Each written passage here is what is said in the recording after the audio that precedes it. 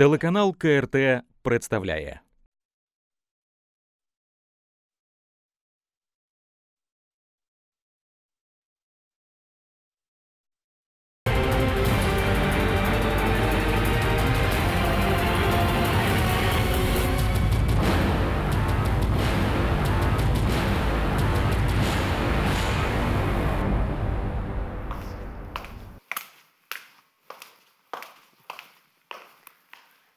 Вітаю українці на телеканалі КРТ. Сьогодні у нас з вами досить цікава тема, тому що минає рік з того часу, як Володимир Зеленський став президентом. А разом з ним ми всі стали президентами. Це були його слова, слова Володимира Зеленського на інаугурації. Із його слів, які він виголосив в Верховній Раді, я запам'ятала найбільше це е, дві фрази. Перша звучала: кожен з нас загинув на Донбасі, і друга кожен з нас президент. Володимир Зеленський в той же день, в перший день, розпустив Верховну Раду восьмого скликання, в якій знаходилася я як народний депутат. Я скажу, що я підтримувала його рішення. І е, зараз, сьогодні, я запрошувала Володимира Зеленського. Телеканал КРТ надіслав офіційного листа Володимиру Зеленському для того, щоб він взяв участь разом зі мною в даній передачі. Для того, щоб ви, українці, могли задати Володимиру Зеленському ті питання, які цікавлять вас, для того, щоб ви могли почути від нього ті відповіді, які цікавлять саме вас. Президент не відповів на даного листа, тому сьогодні крісло буде залишатися порожнє поруч зі мною в студії. Але ми будемо спілкуватися з вами в інтерактиві.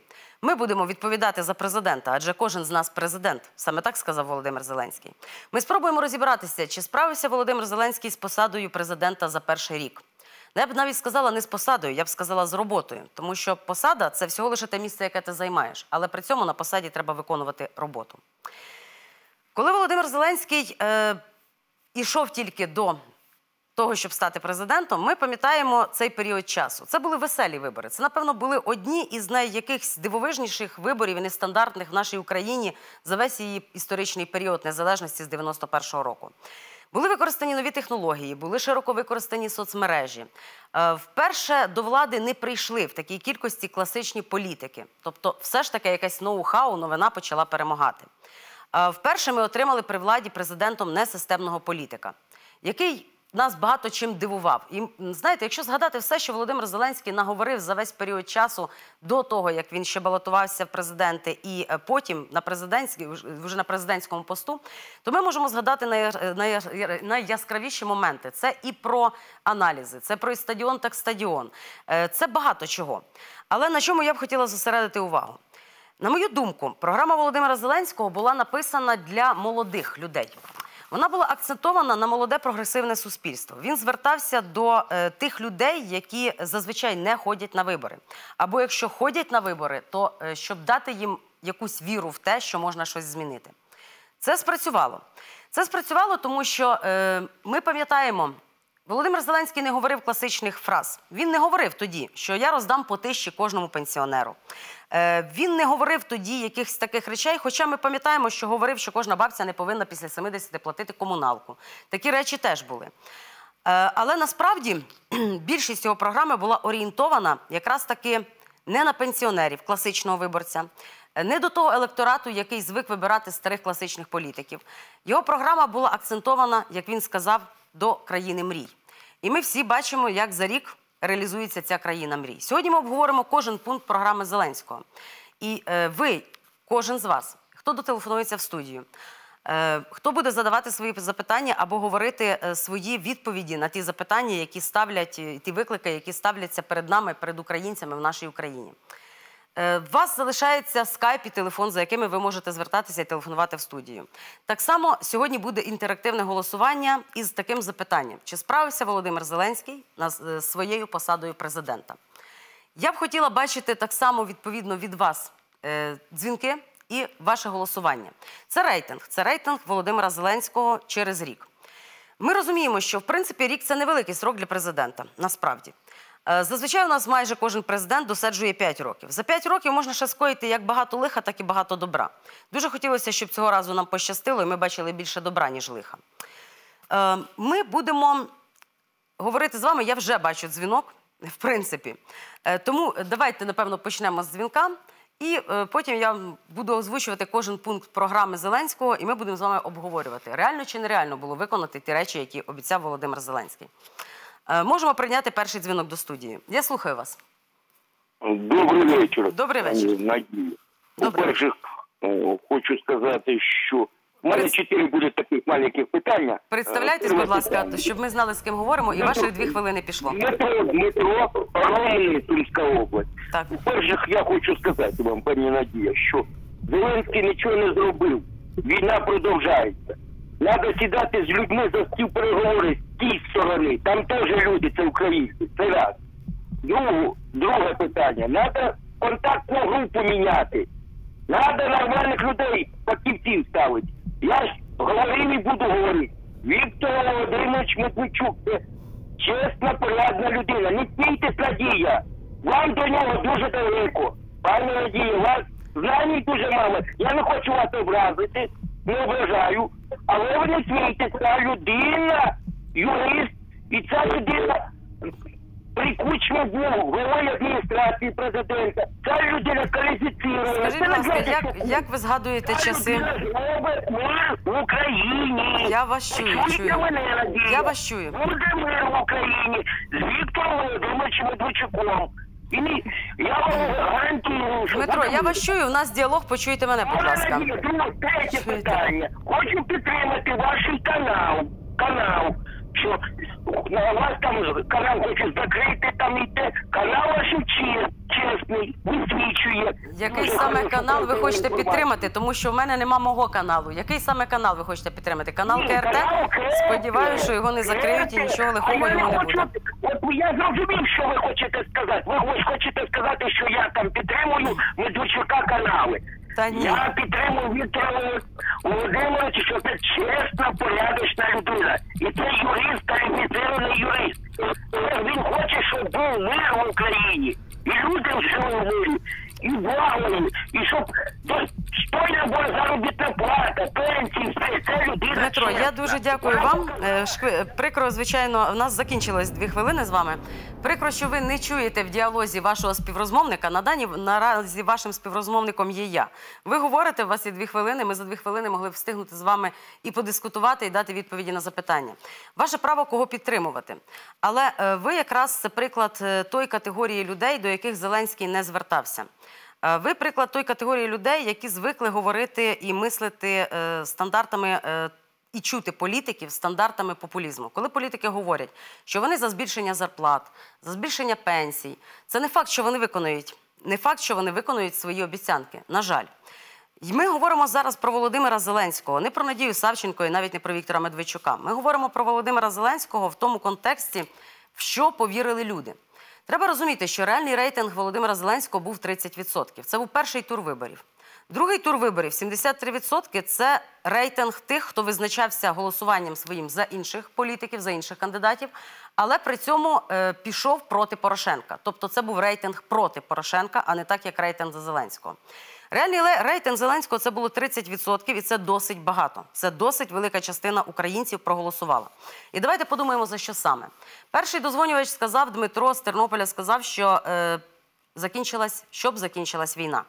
Давайте згадаємо, як починалася програма Володимира Зеленського. Я розповім вам про Україну своєї мрії. Україну, де стріляють лише салюти на весіллях та днях народження. Розумієте, перші слова, в принципі, його програми були якраз таки проти того, щоб була війна. Звичайно ж, далі в програмі йдеться про те, як закінчити війну. Але тут Володимир Зеленський обмежився стандартними, скажімо так, стандартними підходами. Він написав про те, що нам потрібно звертатися безпека людини, безпека країни. Ми повинні вибороти мир для України. Перед гарантами Будапештського меморандуму і партнерами з Європейського Союзу.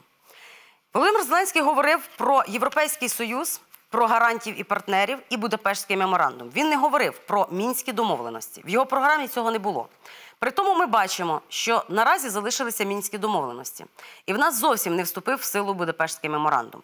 Хоча Будапештський меморандум це в принципі такі ж самі домовленості, як і мінські, тільки укладені були трохи раніше. Укладені були тоді, коли здавався ядерний потенціал України, і тоді, коли Україна е, заручалася підтримкою гарантією тої ж самої Російської Федерації. Наряду із США, іншими країнами. Е, Ми розуміємо, що таким шляхом не вийшло піти. Тобто можна ставити цю обіцянку від Зеленського як невиконану. Він не зміг добитися Будапештського меморандуму. Хоча більшість, е, якась, ну можливо, не більшість, ну якась частина українців хотіла, щоб питання війни і миру в Україні було вирішено саме так, саме за тиску е, наших багатьох інших зовнішніх партнерів, крім Росії. Е, На Росію через те, що Росія е, якраз таки порушила Будапештський меморандум і порушила територіальну цілісність України.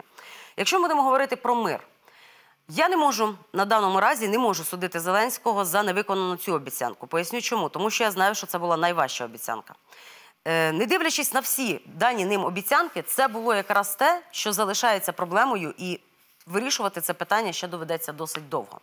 Але я все ж таки бажаю вирішення цього питання хоча б в цю п'ятирічку. Бо при Порошенку в п'ятирічку точно він з цією задачею попередній президент не справився.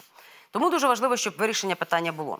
Але я хочу далі акцентувати е, вашу увагу на інших обіцянках Зеленського, які він давав. Зеленський говорив про те, е, він багато говорив гарних речей. Він говорив про те, що українці повинні мати можливість голо- голосувати на, рефер... на референдумах і е, так само на виборах за одну секунду через інтернет. Це якраз таке звернення до молодого покоління, але дуже дискусійне. Дискусійне, тому що ми чудово розуміємо, що країна діджиталізація, як часто говорили, країна в смартфоні. І всі ці мрії Зеленського, е, на які тоді, можливо, звернуло дуже багато українців увагу, всі нові підходи до політики, до обіцянок, е, вони закінчилися на складності їх реалізації. Ми бачимо останнім часом, наприклад, той самий скандал із тим, що. Додаток Дія зливає інформацію, що бази даних українців випливають у відкритий простір. Це якраз те, коли даєш якісь обіцянки, треба думати, як ти будеш їх виконувати. Чим більше інформації у нас залишається в віртуальному просторі, тим легше, е, скажімо так, різним хакерам, комп'ютерним, як то кажуть, хакерам, різним спецслужбам інших країн їх дістати. І не так то легко виконати. Хоча треба сказати, що країна Естонія з цим справилася. Естонія дійсно має електронне голосування. У них є таке право, як електронне, так і паперове голосування. Тому можна сказати, що із цією задачею Зеленський на даному разі не справився, не дивлячись на те, що з держави виділяються досить великі кошти саме на реалізацію цієї програми. У нас навіть є ціле цифрове міністерство. У нас немає міністерства промисловості, у нас немає е, міністрів на багатьох інших міністерствах. Але при цьому у нас є Міністерство цифрових технологій, яке, на жаль, не справляється своєю роботою. Які обіцянки Зеленський давав ще? Давайте згадаємо те, що перше сказав Зеленський, що він йде на вибори на один термін. Це, напевно, підкупило багатьох українців, тому що кожен президент, який у нас тільки є, дуже сильно хоче, дорвавшись до влади, не втратити її більше ніколи в житті. Але при цьому на один срок це підкупило українців. Друге, що він сказав, це те, що його першим законопроектом буде законопроект про народовладдя. Я не знаю, чи розумів Зеленський, що таке народовладдя і як до цього прийти. Як мінімалізувати участь держави в е, процесах країни? Як розділяється держава, як розділяється народ? Але при цьому він говорив: хочу нагадати, що саме воля народу, висловлена на референдумі 1 грудня 91-го року, народила Україну як державу. І це правда. Саме референдумом Україна отримала незалежність. Україна реалізувалася як держава, а не просто як країна або республіка, яка входить до складу інших союзів на той момент Радянського Союзу. З того часу в нас не було референдумів, на яких народ хоч щось би вирішував. Справді не було. Немає і зараз. Ми не бачимо, що Зеленський справляється із такою важливою обіцянкою, яку він дав українському народові. Він говорив про референдум. Референдумів немає. Ми не можемо на них проголосувати ні як електронно, ні паперово. Е, Чому ми не можемо цього зробити? Тому що не виконана перша передумова для референдуму. У нас немає перепису населення. Той перепис населення, який зробили новітніми цифровими технологіями, абсолютно не є адекватним і коректним. Ми не знаємо, скільки нас українців, ми не знаємо, хто ми є, і ми не можемо мати свій голос на референдумі. Це перша, напевно, із провальних тих обіцянок, які Зеленський давав. У нас є дозвонювач. Напевно, почуємо ще одну думку щодо річниці, як то кажуть, царювання чи президентства Володимира Зеленського. Будь ласка, ви в ефірі говоріть. Алло. Так, як вас звати? Представте, добрий звідки ви? Я добрий вечір. Добрий вечір. Олег мене звати. Е, З Київської області телефоную. Олег, дві хвилини ваших пішло. Слухаю. Е, Надія, ваше питання можна його назвати навіть риторичним, але потрібно дивитись з такого кута. е, Чи справився Зеленський з е, посадою президента для тих, хто його поставив президентом, він справився. А для народу, який був обнадіяний, мабуть, він і не справився і не міг справитись. Він не для цього став президентом. Він актор, перш за все, правда? Олег, а ви голосували за Зеленського чи ні? Ні, звісно, ні. І в другому турі теж ні. Ні, дивіться, я працював. Е, чому я дзвоню? В 12, е, 12-му році, в 14-му я е, в виборчому штабі привів одного мажоритарного депутата, одіозного, не буду називати фамілію. Що я хотів вам запропонувати. Е, просто хочу зв'язати з вами напряму без посередників і підлеглих ваших. Е, та- та- та- Так дивіться, е, за Зеленського не голосував, тому що ця людина поставлена тим, кому це потрібно. І мені здається, це був Петро Олексійович. Е, знаєте, ставлять е, фейкових е, учасників виборів, а він зайшов трошки далі. І я так думаю, він планує повернутися як рятівник України знов на білому коні. На- Олег, а ви, напевно, є політтехнологом, раз ви говорите, що ви приводили до влади певних депутатів. Тобто ви розцінюєте цю ситуацію саме з політтехнологічної е, картини. Да, е, розумієте, дивіться, я їздив, у мене була команда людей, і ми робили соцопроси. Так е, я напевне знаю точно, що по Київській області ми їздили, навіть не тільки по Київській, Чернігівська трошки. Е, Ми проводили соцо, соцопитування, і у нас замовник був партія Порошенка, і в цьому опитанні були питання. За кого люди готові проголосувати? За Зеленського чи за Вакарчука? І за місцевого депутата-мажоритарника, дивлячись, в якому окрузі це проводилось. Ми продовжуємо Я з вами час на дві хвилини. Да, да, да, дивіться, Так, так. просто вносилось людям е, думка, вносилась. Це був не соцопрос, там не треба був рейтинг, е, що люди думають. Просто люди про це навіть не думали. Ми просто вкладали людям в голову думку про самого Зеленського. Ну ви вкладали пішло від Порошенка. Олег, ну ви так само вкладали ще думку про Вакарчука. Е, ви знаєте, я е, зустрічалася із Порошенком особисто три рази. Я вам скажу, що мене б здивувало, якби ця людина е, відмовилася від влади і зробила такі, скажімо, довгострокові хитрі комбінації для того, щоб, як ви кажете, прийти надовго потім. Тобто один раз поставити якусь маріонетку, потім прийти надовго. Порошенко далеко не є Путіним. Е, Він е, не випустив би владу з рук, і е, він хотів би тримати, скажімо, її вічно. Його ключ, ключові, ключові фігури, його вставленики далі керують країною. А всі остальні зараз за команда, я маю на увазі, зараз просто грають роль таку, як і сам Зеленський раніше грав. Ну, е, ми почули вашу точку зору. Е, Я, я розумію, що е, дійсно соці, соціологією, соці, соцопитуваннями дуже часто робляться, робиться людям мозок, як то кажеться. Людям затравлюють ту інформацію, про яку вони раніше б і не думали. Це дійсно є такі технології, дійсно політичні технології. Українцям би треба було б їх обов'язково розуміти. Е, Ну, м, я дякую вам за ваш дзвінок. Скажіть, якщо ви знаходитеся в Києві, можливо, вам буде можливість і буде цікаво приїхати наступну передачу до нас до студії? Я погано чую, зв'язок поганий трошки. Ага, я кажу, е, чи буде у вас можливість приїхати, наприклад, до студії КРТ на передачу? Можу, звісно. Добре, Олег. Тоді з вами зв'яжуться. Е, Я думаю, що як е, із політтехнологом, який має досвід в політичних процесах, виборах, буде цікаво поспілкуватися українцям. І, можливо, ви ще розкажете якусь, скажімо так, Ага. інсайдерську Хорошо. цікаву інформацію. Так що залишайтесь на зв'язку, у вас візьмуть дякую, контакти. Дякую вам. Все найкраще вам. Дякую. Вам ваші передачі. Е, Продовжимо говорити про е, те, що обіцяв Зеленський. Зараз ми почули і версію, що Зеленський не є самостійним. Це, напевно, була одна з основних версій, яку закидали Зеленському. Щоправда, говорили дуже часто, що він є маріонеткою Коломойського. Зараз говорять, що є маріонеткою Порошенка, тому що насправді е, та політика, яку Зеленський веде, багато хто критикує як ту, яка не відрізняється від того періоду, е, яку вів Порошенко в свій період. Хочу сказати, що обіцянки відрізнялися. Ми ніколи не чули від попередніх влад е, такого розуміння, як зміна політичної системи. Щоправда, ми не почули цього від Зеленського. Він так само в своїй, е, в своїй програмі сказав змінити систему. Він тільки не сказав змінити політичну систему. І це, напевно, було ключовою помилкою, тому що із цих слів зрозуміло, що Зеленський не розумів, що він хоче міняти. Але при цьому е, він знав або почув певні речі, ключові речі, які чіпляли українців, якщо українці, звичайно, читали програму передвиборчу кандидатів в президенти. Говорилося про зняття депутатської недоторканності. Але про це говорив практично кожен політик, Порошенко в тому числі. Про це говорили депутати всіх скликань зняти депутатську недоторканність. Причому не тільки, а з народних депутатів, із суддів. Суддів зняли, себе не зняли і так гралися досить довгий час. Треба віддати належне, що при Зеленському депутатську недоторканність все ж таки зняли. Друге, про що говорив Зеленський? Про імпічмент президента України. Закон про імпічмент є і був. Він був складений ще за часів кучми, але він був неможливий до реалізації.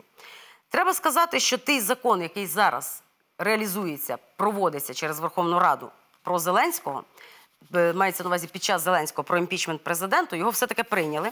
Він теж не є досить можливим для реалізації. Тому імпічментів президента реалізувати українці не зможуть ще довго.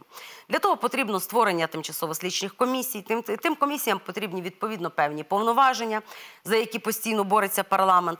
Зараз, начебто, ці повноваження збільшили, але їх все одно недостатньо для того, щоб реалізувати імпічмент президентом. Тому можна вважати цю обіцянку наполовину виконаною. І саме основне, що говорив Зеленський в, скажімо так, в контексті цього е, свого обіцяного програмою декларування. Він говорив про відкликання народного депутата. Ви знаєте, це те, напевно, що замінило б все. Замінило б недоторканність, замінило б суди, замінило б антикорупційні суди. Це те, коли б український народ мав можливість відкликати свого депутата, депутата, президента. На жаль, такого права українцям не подарував і Зеленський теж. Так само, як і не подарував, не подарував народовладдя і референдумів місцевого і загальнонаціонального рівня. В цьому якраз і є проблема. Є найбільша проблема. Жоден депутат не хоче втрачати своє крісло, яке він здобуває або купляє, да, або виторговує, або я не знаю, виграє якось якимись правдами, неправдами у українського народу. І президент так само йде на один термін, як він сказав. Він не хоче позбавлятися своїх повноважень раніше ніж 5 років. Це якраз і є та проблема в українській політичній системі, на яку українці не мають впливу.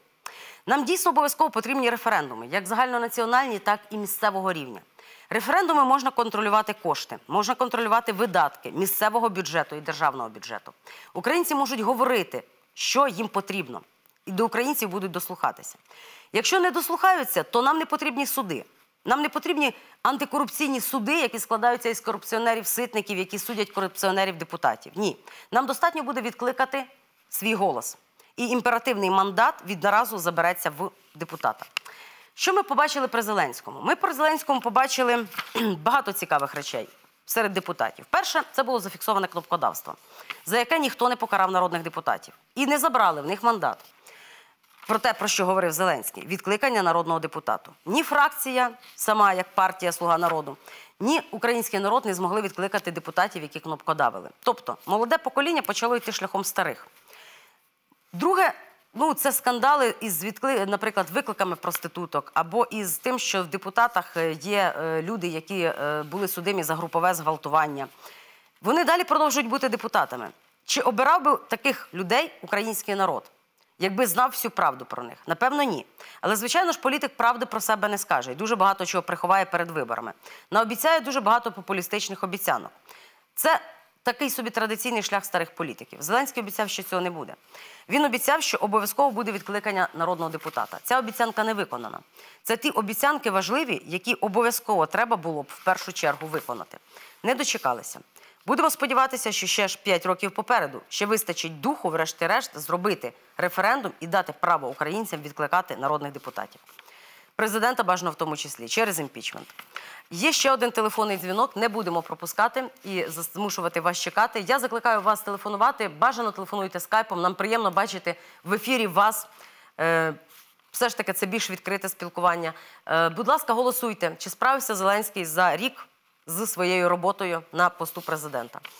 І так, дзвінок. Доброго вечора. Говоріть, будь ласка, ви в ефірі. Добрий вечір. Представтесь, будь ласка, і Я звоню из Харькова, меня зовут Александр.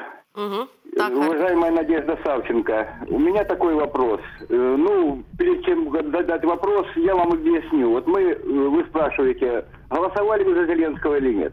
Когда были выборы последние, Порошенко, деваться было некуда, меня спрашивали, ты за кого? Я говорю, я против. Почему против? Выбора не было. А почему выбора не было? Потому что э, авторитетные люди, я общался с ними, военные, технократы, управленцы, они говорили, и я повторю слова не свои, а Добкина. Нельзя на лифте подниматься во власть. Нужно идти по ступеням. Мы получаем результат. Но у меня вопрос простой, и это было очевидно, что он не справится. А почему? Потому что он обещал нам весной посадки. Это было нереально. Понимаете, нереально. Потому что кадры решают все.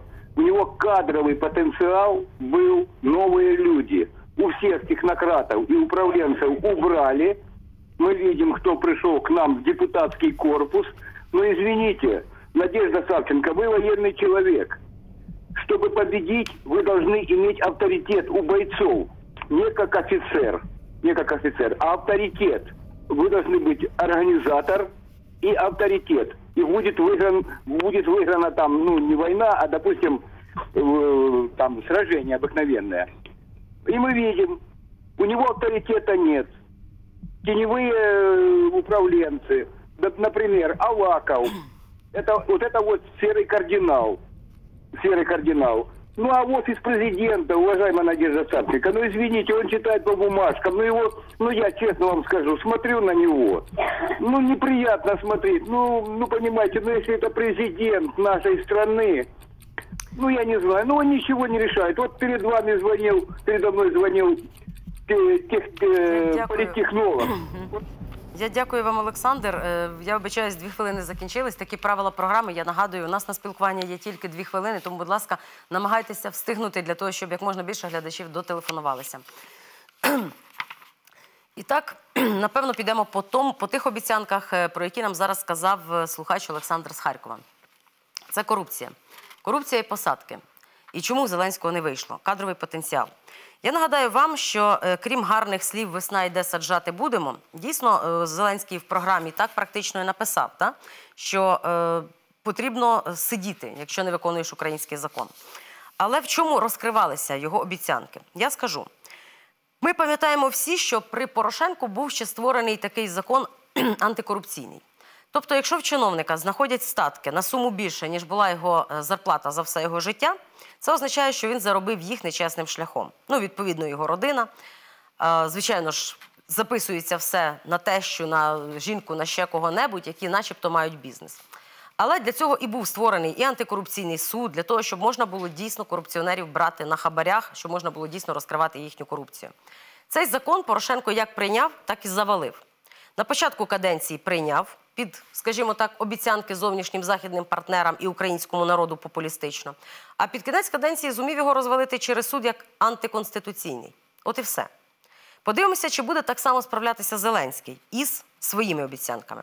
Нагадую, як звучали обіцянки Зеленського.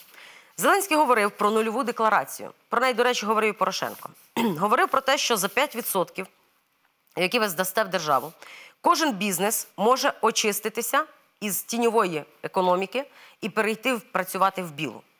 Ви знаєте, насправді це було б непогано. Тобто було б, напевно, непогано, тому що я не говорю зараз про чиновників, я говорю про бізнес. Е, За 30 років в Україні взагалі кожного українця практично змусили бути злочинцем. Тому що якщо ти не працюєш так, як всі, то ти не працюєш взагалі ніяк. Це ми дуже гарно зараз і ефективно побачили на прикладі бізнесу, епіцентру, ресторану Вілюр, да? народних депутатів.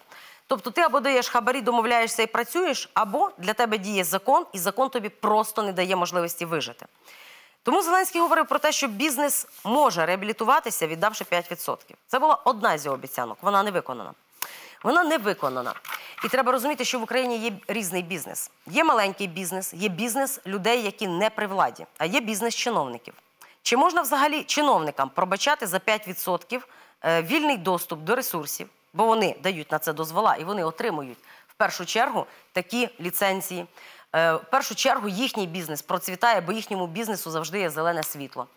А бізнес, який не дотичний до чиновника, простої людини, ніколи не зможе вижити в таких неконкурентних умовах. На жаль, така обіцянка не виконана Зеленським. Немає антикорупційного закону, який повинен був би розібратися. Бізнес був при владі чи бізнес був не при владі. І немає тих 5%, який говорилося, сплатіть і працюйте далі в чисту. Тобто із тіні бізнес не виведений. Цю обіцянку Зеленський не виконав. Проте Зеленський виконав другу обіцянку. Він говорив про те, що нульова е, що корупції з корупцією не треба боротися, її треба перемогти. Він говорив про нульову толерантність до корупції. Він говорив про посадки. Врешті-решт закінчилося це все тим, що почали не то, що не садити корупціонерів, їх почали відпускати. Хоча Зеленський говорив, що жоден корупціонер не вийде під заставу. Проте виходять. Ми бачимо зараз і Гримчака, і Ситника, і Микитася. Це ну тільки ті якісь відомі прізвища, які я назвала, а їх дійсно сотні на даний момент виходять із в'язниць тих, що звинувачувалися саме в корупційних справах, яким не дають ні застави, нічого. Люди просто виходять на волю і явно не сидять у в'язниці. Проте Зеленський виконав те, що говорив: здай корупціонера, отримай 10%. Я не знаю, чи хоч хтось здав хоч одного корупціонера, чи отримав 10%, але такий закон прийняли. Дійсно, такий закон є. Ви можете здати хабарника, не давати хабарі самі і не заохочувати до цього інших. Можна сказати, що в принципі, напевно, було б добре, якби тільки не заохочували людину бути доносчиком. Якби людина дійсно це робила, тому що має чисту совість, і говорила, що я не дам хабаря, і про вас розкажу, раз ви будете брати хабарі. Але закон такий існує. Тобто ця обіцянка Зеленського наполовину виконана. Чи принесе вона користь Україні, сказати важко. У нас ще є один дзвінок. Давайте почуємо вас в студії. Алло, представляйтесь, будь ласка, говоріть. Доброго дня. Доброго Дуже дня. рада було поспілкуватися. У нас дві хвилини. Як вас звати і звідки ви? Людмила мене звати. Таке, таке запитання дуже гарно виглядаєте. І коли в нашій Україні стане мир і порядок? Риторичне питання, коли в нашій Україні настане мир і порядок. Людмила, ви нас ще чуєте, бо вас погано чути в Так, студії. я чую вас. Ви чуєте, так? А, скажіть, в чому ви бачили, ну мир зрозуміло, в чому ви бачили порядок? Як ви вважаєте, от в чому повинен бути в країні порядок? От зараз е, де ви проживаєте? Те, що треба, щоб у- Україна в нас вона вільна. Це, це понятно. Вибираємо президента, біда за якого. Чому не можете так само, хоч, будь, наприклад, ви? Мені здається, було б на- набагато краще. Я зрозуміла, Людмила. Хочу щось довести людям, народові. Якщо він викликається, він пояснював, він обіцяв, якщо ти обіцяєш народові, мені здається, треба, щоб ти свою обіцянку виконував. Е, Людмила, дивіться, президентом в Україні може бути той, за кого проголосують українці. Для того, щоб за президента проголосували, треба спочатку податися на президента. Щоб податися на президента, треба вже мати гроші, щоб внести, зробити внесок в державу за, реєстру, за реєстрацію президентом. Хоча якби конституція цього нас і не передбачає. А для того, щоб е, далі виграти ці вибори, потрібно мати дійсно неабиякі гроші. І по-третє, треба мати ще неабияку хватку, сміливість і наполегливість, щоб виграти. Е, Шлях же ж до е, влади, як говорив е, попередній слухач, Добкін казав, треба йти по сходинках. Шлях до влади він же ж нелегкий і дуже ласий. Тому, як ви кажете, чому б не могла бути я президентом? В той час, коли були вибори президента, Порошенко мене ув'язнив на рік для того, якраз щоб я не подала свою кандидатуру і за мене не мали змогу проголосувати українці. Тому будемо говорити поки що про те, що говорив Зеленський. Кожен з нас президент. І коли буде порядок в країні. Я дякую вам за дзвінок, Людмила. Я зараз буду відповідати на ваше запитання тим, е, тими обіцянками, про які говорив Зеленський.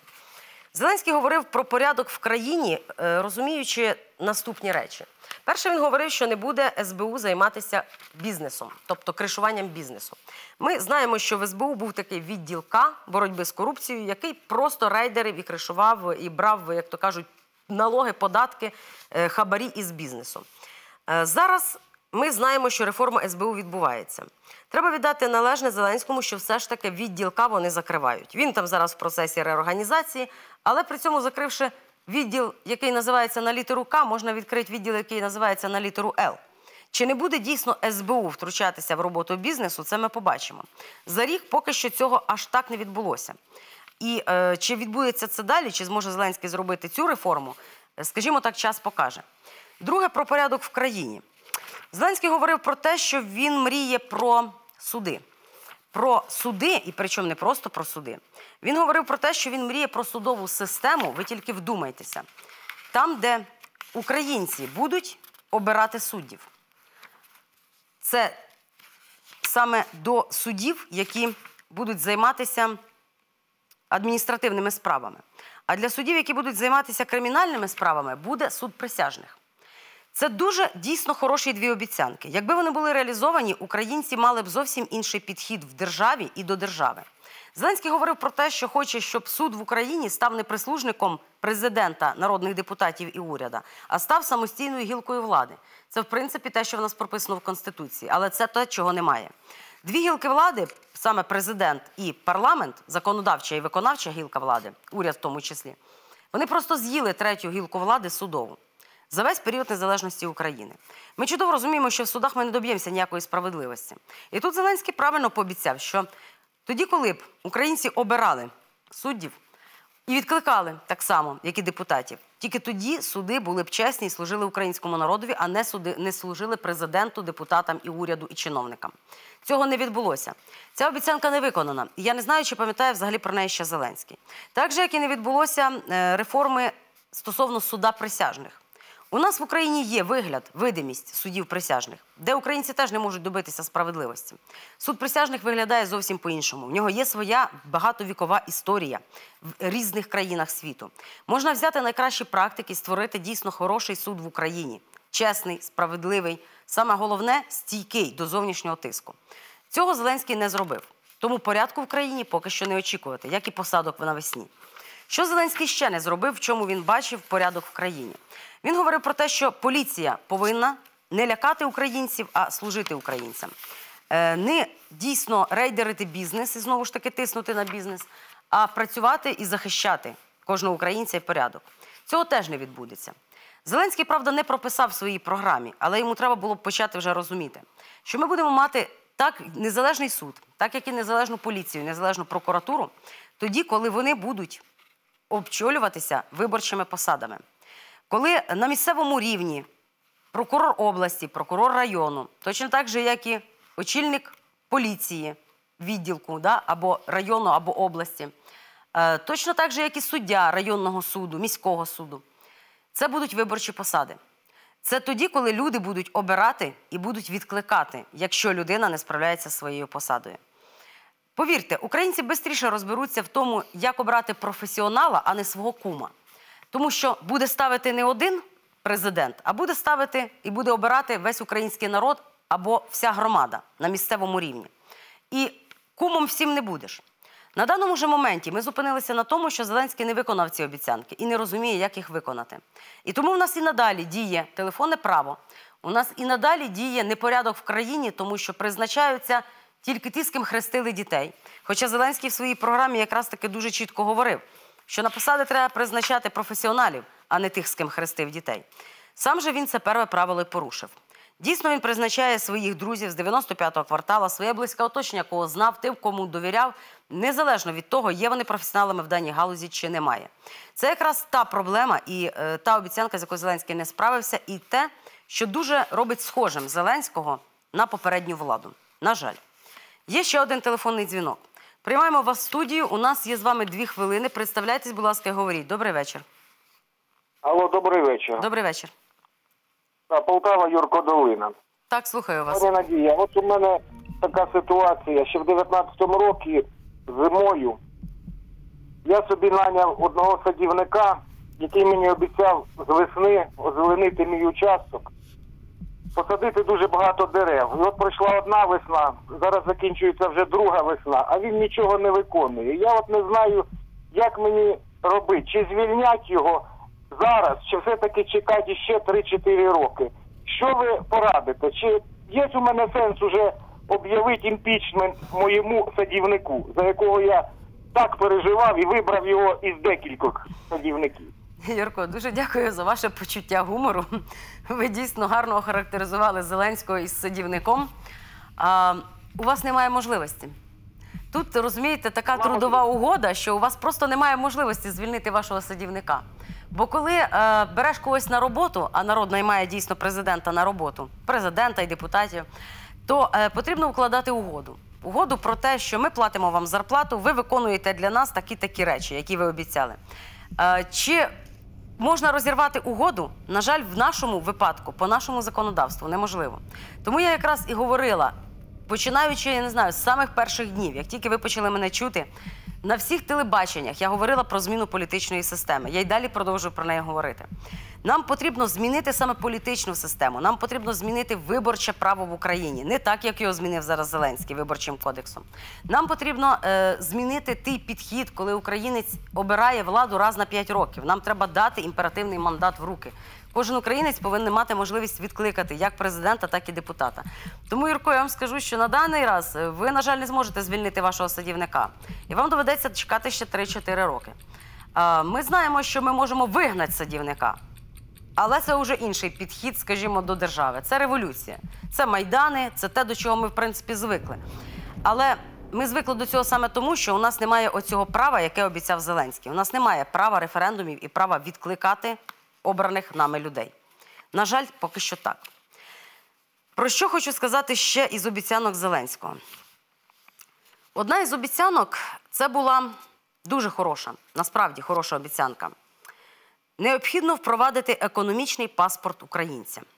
Мало хто тоді розумів, що таке економічний паспорт. Я ж говорю, Зеленський писав свою програму для більш молодих і сучасних людей, які володіють е, всіма не знаю, електронними пристроями, всіма гаджетами, е, володіють і вільно орієнтуються в інтернеті, е, які подорожували за кордоном, які працювали за кордоном, які мають якісь навички, побачили світ. Він не говорив мовою виборця, бабці-пенсіонерки. Він не говорив про збільшення пенсій. Він, звичайно, говорив про це, як і всі політики. Писав, що пенсія повинна бути гідною. Але він не робив на цьому акцент. Але він зробив інший акцент. І акцент був дійсно дуже правильний: це економічний паспорт українця. Що таке економічний паспорт українця? Кожна дитина матиме право накопичувати на своєму рахунку частину від реалізації державою природних благ надра, земля тощо. Тепер давайте згадаємо, коли у людей було таке право. Ну, це так, щоб освіжити пам'ять і сказати, що і бабусі пам'ятають такі речі. Це була книжка в Ощадбанку. Ощадкнижка. Е, людина могла, в принципі, складати частину своєї зарплати в Радянському Союзі для того, щоб накопичити собі, накопичити своїм дітям. Тільки там це людина робила сама із своєї зарплати. Ну, так як зараз людина кладе до банку. Зеленський же запропонував іншу і більш правильну, скажімо, більш правильний підхід. Підхід такий, як в Саудівській Аравії, коли держава накопичує людині рахунок. Це називалося безумовним базовим доходом в багатьох країнах світу. Такий підхід використовують деякі країни, в тому числі Саудівська Аравія, багаті країни, і будуть використовувати далі ще більше країн. Чому так? Тому що всі е, будь-які потрясіння в державі, будь-які бунти стаються саме тоді, коли люди відчувають соціальну нерівність. Ні, не релігійну навіть, не е, мовну, не знаю там, не поділ на наших і ваших, про що Зеленський теж говорив в своїй програмі, що не треба ділити людей. Коли люди відповідь, відчувають саме соціальну нерівність на поділ на багатих і бідних. А це ми відчуваємо в Україні дуже сильно. Про це, звичайно ж, незвично говорити, тому що говорять: от ви більшовики, ви комуністи, всіх отобрать, на всіх поділіть. Ні, насправді не так. Зеленський же ж дав дуже гарний приклад: економічний паспорт українця. Не відбирать і ділить. Ділить те, що належить українському народу, нічого. Воно належить всім українцям. За Конституцією України нам належить і земля, і надра, і повітряний простір, і ресурси, і ліси, і кар'єри піщані, глиняні, гранітні. Е, Нам належить все. На жаль, ми побачили за час незалежності України, що це все опинилося в руках невеличкої кучі олігархів. І це якраз є таки соціальна несправедливість. Як Зеленський пропонував з цим ділитися? Він пропонував зробити і енергетичну незалежність України, і е, все здобуте із природних ресурсів ділити між кожним українцем, накопичувати рахунок. Це була б ваша і пенсія, це було б е, ваше лікування, медична страховка, це було б дітям на навчання. Це були б гроші, якими держава ділиться з українцем за те, що українець залишається працювати в Україні. Не виїжджає за кордон, а залишається працювати в Україні. Чи бачимо ми це? Ні, не бачимо. Зеленський не зміг справитися ні із забезпеченням енергетичної незалежності України. Е, натомість ми бачимо навпаки купівлю далі Білорусі в Росії електроенергії. Ми бачимо закриття атомних електростанцій нашої енергетики. Ми бачимо далі приватизацію всіх родовищ, які тільки можна, які використовують природній ресурс в Україні, е, в якісь приватні руки, чи то імпортного інвестора, чи то свого олігарха. Зеленський не справився із цим. А це була якраз таки дуже важлива обіцянка. Якби це було виконано, українцям би дійсно було б простіше пережити коронавірус, і нам би не треба було кожній бабці по тисячі. Українцям би було б простіше пережити і забезпечити собі гідний рівень життя, відповідно, і гідний рівень навчання і лікування. Про що теж, до речі, Зеленський багато писав, але абстрактно. На жаль, ця обіцянка не була виконана, і вона ніколи не буде виконана жодним президентом України, жодною радою Верховною, жодними чиновниками доти, доки в українців не з'явиться інструмент відкликання чиновників, не з'явиться інструмент впливу. Доки в українців не буде можливості на референдумах вирішувати, як розподіляти бюджет. Поки всього цього не буде, у українців не буде можливості реалізувати ту обіцянку, яку давав Зеленський. Це великий мінус насправді. Я не знаю, чи дійде Зеленського руки до цього за 5 років. Я думаю, не дійдуть. Не дійдуть, тому що він дійсно виявився слабким, як говорили вже тут Юрко, цей садівник, який обіцяв посадити дерева. Е, він виявився слабким. Слабким, щоб подолати внутрішніх, внутрішній спротив олігархів і зовнішній спротив е, глобальних іноземних інвесторів. Україна залишається знову ж таки для когось, але не для українців. А Зеленський якраз таки обіцяв зворотнє. У нас є ще один телефонний дзвінок. Будь ласка, звертайтеся, ви в студії, у вас є дві хвилини. Представляйтеся, говоріть. Добрий вечір.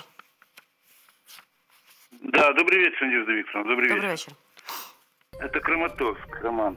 Так, слухаю вас, Роман. Ну, я хочу вкратце, постараюсь толерантно, быстро. Ну, первое, я хочу сказать вам большое спасибо за книги. И второе, я хочу сказать девочкам большое спасибо операторам, что наконец-то вывели меня в эфир, молодцы. И теперь по существу. Я кратко и лаконично. Зеленский. Для меня это пустышка. Пятнадцатый год. Мы тут собираем, кто, ну, наши украинцы, кто, кто, кто может. 100 гривен смс помните, да, кто на фронт, что, что надо, ничего нет, фронт голый. Хлопцам ничего нет. Ну, мы тут это, и я смотрю концерт в Юрмале. Зеленский шутит, что там Украина как повес склоняется за этими валютными фондами, за бронежилеты, не брони, а айбонитовые палочки. Помните, да, бронежилеты там выдать на Майдане, чтобы вырабатывали ток. Все, у меня шайба упала, для меня этот человек умер тогда. Я ему дал свое определение. Так, теперь по существу. Когда он сказал, что Авакова берет под личную ответственность министром, это было дно. Это дно было пробито. Аваков это выжигай прихлебатель. Я его ненавижу еще с Майдана. Я это, для меня это... Я не хочу в прямом эфире говорить, кто. Так, дальше. Контора СБУ. Когда я вижу в экране телевизора месяц назад жилеты, там облегченные, там, наверное, шестой уровень, да, Надежда Викторовна? Там Да. шестой уровень, там класс, такая разгрузка, смотрю, оптика, обвеска, оружие, блин, атакуют бордель. Видите, повеи мешают повеи, это загроза безпеки Украины, это маразм, вы понимаете, СБУ. Я когда ждал в 14 здесь, когда я хотел что-то там, надо было, мне сказали хлопцы, добробатовцы, не лезь. СБУшники это на 90% пайщики ФСБ. И это так и вышло, когда Альфа отказалась штурмовать. Славянск, этот урод сдал нас. Ну ладно, это все. Ну так, а вот теперь обещанки, цяцянки. Вы понимаете, Надежда Викторовна, э, какая фишка была у нас? Голосуем по приколу, да? Ну честно Ви, я дякую вам. Дякую, Роман. Закінчилися дві хвилини. На жаль, не встигла продовжити. Ви все правильно сказали. Голосую по приколу. Ну що ж, якщо не до приколу, повернемося до фішок. В програмі Зеленського не було сказано нічого про е, легалізацію проституції або грального бізнесу. Е, ну, це так, зараз будемо повертатися до порядку. При цьому закон про гральний бізнес з'явився. Да, дійсно, закон, який повинен був би спрацювати в інтересах, в першу чергу, прямих Авакова і поліції. Чому? Бо металоприйом, проституція, гральний бізнес і наркотики це, в принципі, завжди за всі віка й покоління української незалежності було вотчиною саме міліції, а тоді поліції. Саме на цьому заробляли і заробляють далі наші охоронці правопорядку. Саме тому, що українці не можуть відкликати на місцях голів поліції, які повинні виконувати свою роботу чесно. Тому вони звітують тільки тому, хто їм говорить зверху. І дуже часто, коли е, зупиняють десь когось, мені розповідали історії, Е, Коли зупиняють е, на вулиці людину, людина питає, що я порушила, і коли е, в принципі не може поліцейський навіть зачитати правил дорожнього руху або правил там інструкцію свою посадову, він говорить: мені Аваков так сказав. Да, це прикро. Прикро бачити таку ситуацію в країні. Дуже прикро. Прикро, що Зеленський не справився з е, тим, що не зміг знайти, е, скажімо так, е, людей, які змогли б реалізовувати саме його програму, а не змушувати Зеленського здавати позиції своєї програми. Не було програльний бізнес, але при цьому закон з'явився. Це якраз те, коли не обіцяєш, але виконуєш, бо обіцяв не народу, а обіцяв комусь, хто тебе підтримував фінансово на виборах, або хто тебе підтримує зараз в якійсь твоїх політичних, скажімо там, інтересах. Тому ми бачимо ринок землі. Будемо зараз говорити про наступне: чи було в Зеленського про ринок землі? Ви знаєте, в його програмі дійсно була одна фраза. Причому спочатку її не було. Вона з'явилася буквально десь перед виборами, і з'явилася вона вже тільки на виборчих дільницях, на вивісках е, транспарантів, які на виборчих дільницях. З'явилася фраза формування прозорого ринку землі. Все, крапка. Було абсолютно більше нічого. Тобто просто нічого. Не було розкрито питання, як Зеленський збирається робити цей ринок землі. Не було розкрито питання, як він збирається відслідковувати корупцію, як буде проводитися фінансова аналітика, як будуть, е, наприклад, не знаю, зніматися податки. Хоча він сказав, зміна податку на прибуток податком на виведений капітал. Це теж була ще одна дуже хороша обіцянка, яку Зеленський теж не виконав і теж не знає, як виконати. При цьому ринок землі був виконаний, виконаний в найгіршому варіанті. Він дійсно це зробив ринком. Ринком схематозним, недоробленим законом, який не дає нічого в бюджет країни і який не дає можливості зберегти землі. Ми побачимо, як буде розвиватися подальша робота Зеленського на посту президента. Тому що це ще ж далеко не всі обіцянки. Ми з вами розглянули, напевно, тільки половину найактуальніших. Було ще дуже багато гарних обіцянок і про вчителів, і про медиків, і про пенсіонерів. Все це просто слова. Я, на жаль, не почула від вас практично е, жодного хорошого слова про виконані обіцянки. А шкода. Я сподівалася, що все ж таки є люди, які бачать в тому, що Зеленський хоч трохи та справляється. Якщо ми підведемо підсумки і подивимося на екран, то 20% думають, що Зеленський справився з своєю посадою президента. 80% думають, що ні. Ми подивимося ще один рік. Ми подивимося, чи справиться Зеленський і чи можливо виростуть рейтинги. Тому що на даний момент дійсно рейтинги Зеленського впали, але впали вони по відношенню до другого тура виборів. Звичайно ж, його не підтримує 73% виборців, як це було в другому турі. Проте, якщо подивитися рейтинги, і якщо ми побачимо тут так позитивно, то в принципі його підтримує 30%. Ви знаєте, це ті 30%, які в нього повірили з першого разу. Це ті 30%, які за нього голосували в першому турі. Це ті 30% людей, молодих, які все ж таки вірять, що Зеленський, як би називали його котом в мішку, не системним, не традиційним політиком, бо взагалі не політиком, це краще, ніж те старьо, яке було на ринку України. Чи переможе молоде покоління, ми побачимо, тому що хочу акцентувати ще раз увагу: Зеленський робив ставку на молодих.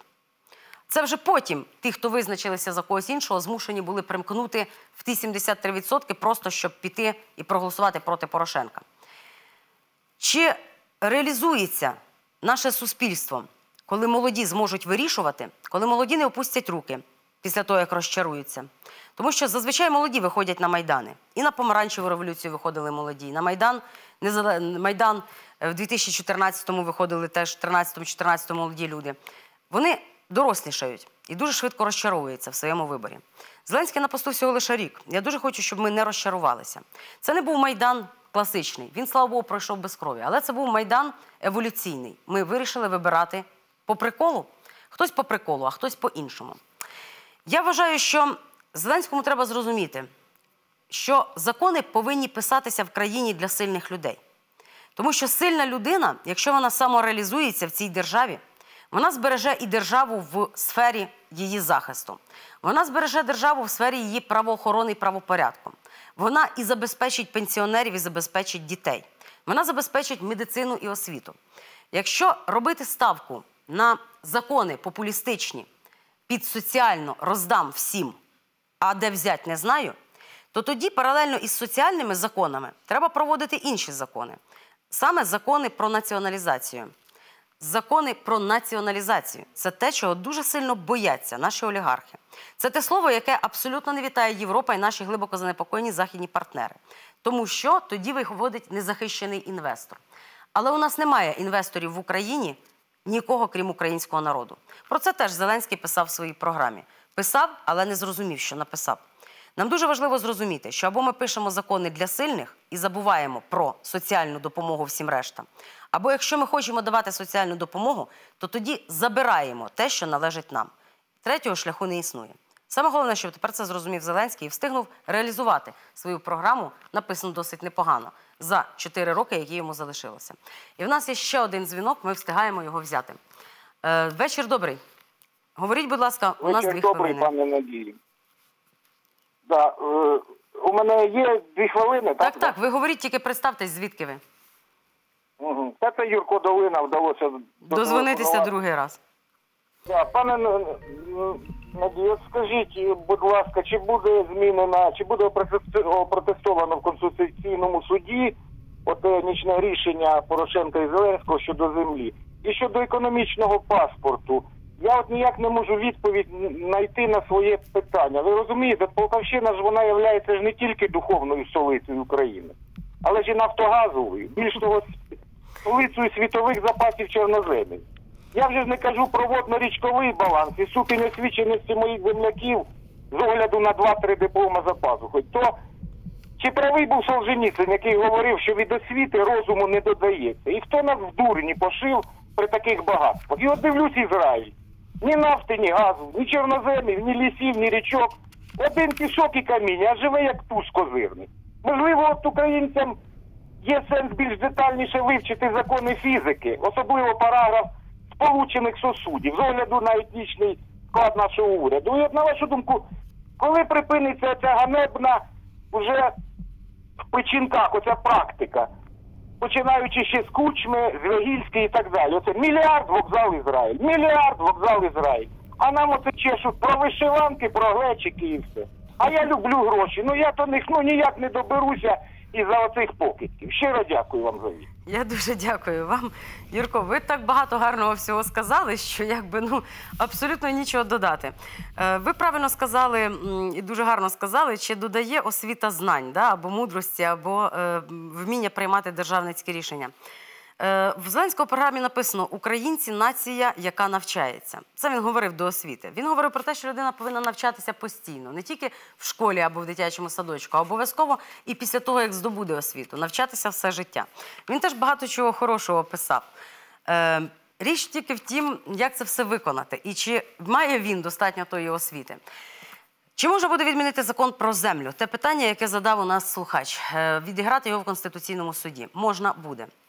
Перше, я дуже сподіваюся, і багато хто сподівається, не тільки я, що е, все ж таки уряд, е, ні, не уряд, суд, врешті-решт стане гілкою влади, третьою гілкою влади і буде самостійною. Зараз у суддів є така можливість, є такий шанс. Їх дуже довго нагинали і на них тиснули. І зараз, в принципі, це не припинилося. Причому не припинилося ще як і від влади Порошенка, бо коли треба садити Порошенка, е, судді, так як і прокурори, і слідчі починають говорити, що вони сьогодні при владі, завтра не при владі, післязавтра знову при владі. Але а нам то що? У них влада все одно в руках залишається, а нам тут в Україні жити. І на нас все одно це посиплеться.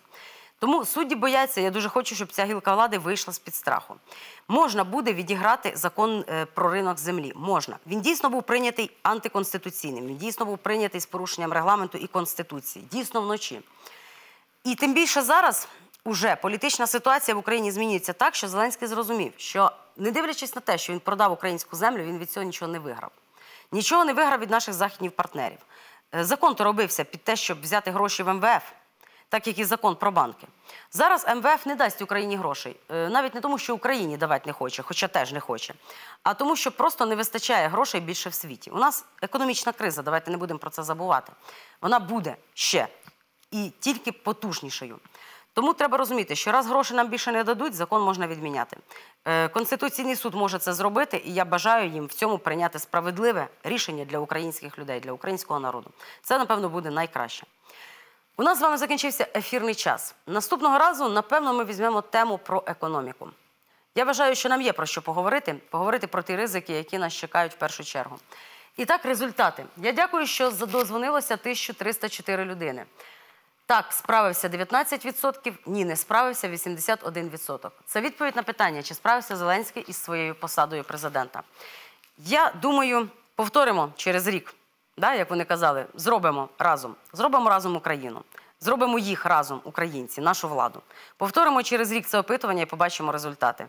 Може, не доведеться чекати, поки садівник посадить дерева, і можна буде його все-таки звільнити і через рік, і через два. Дякую, до зустрічі.